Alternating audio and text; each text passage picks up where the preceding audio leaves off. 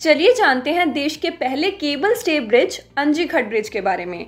अंजी रिवर पर बनकर तैयार हो रहा यह bridge Udhampur Srinagar Baramulla rail link project का एक पार्ट है।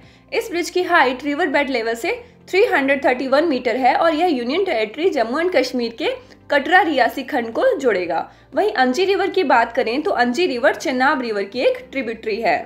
Stay connected with B N by I S for more such important shorts